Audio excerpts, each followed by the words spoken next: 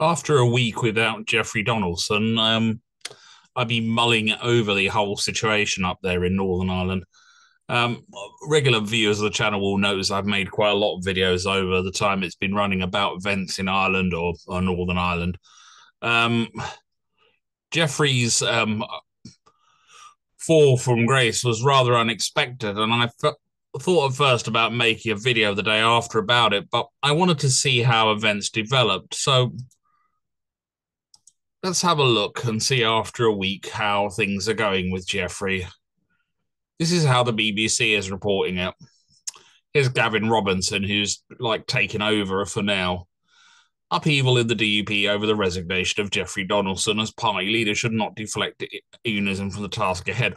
Well, that's all very well to say, but like it's it's a, an amazingly strange and surreal situation where the the party leader has fallen from grace from a height in this way and plummeted downwards. I, I can't see how it cannot. Um, the interim DUP leader was speaking almost a week on from being installed in the role. Fortunately, he's not the de- the the um, DUP leader is not the f- deputy first minister, which people in Britain should be aware of. He's the party leader.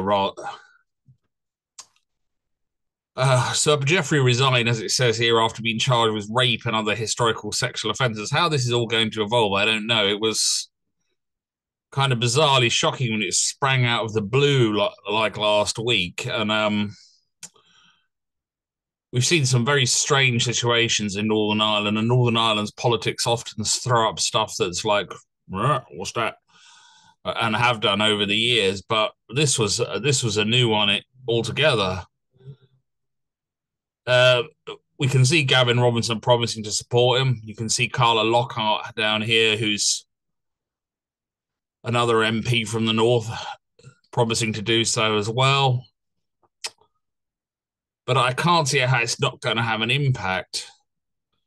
Now, of course, on the other side of the Irish Sea, let's see how RTE are reporting it in Ireland, because of course it's going to be a slightly different focus. I'm sure uh, we'll go past is- Israel there and and that I may come back to that. I'm deliberately trying to avoid talking about Israel because I am not some sage like individual who can offer any great point of wisdom on that. Sadly, I find the whole thing exceptionally sad. Let's let this update an incredibly difficult day days for Gavin. Here's Gavin again, looking a bit shell shocked. I noticed there. I mean, this is not a funny situation, despite that bit of uh, wisecrackery from me there. Whatever's gone on here is really going to hit to the um, heart of the party. Jeffrey Donaldson had been the leader of the DP for some time and had been involved in sort of unionist politics for the last four decades after a career which saw him interacting with Enoch Powell, closely involved with Ian Paisley, and other figures. And all of that's going to be gone over with a fine tooth comb and come back to haunt him, just as um, things like from my side of the table, since I'll put my hands up and say I'm I'd identify as Irish nationalist or Irish Republican things like the sex scandals in the Catholic Church and sex scandals for certain nationalist politics has caused that. I have no idea what the fallout is going to be at this point, but we're certainly going to see some sort of strange sea change, I think.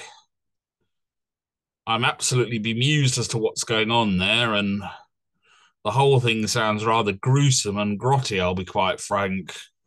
Talk of video evidence and and all sorts of things. I don't want to go any further than that because this is a live case and I don't want to suddenly find a lawyer's letter dropping on my door about the matter, but I am following with great interest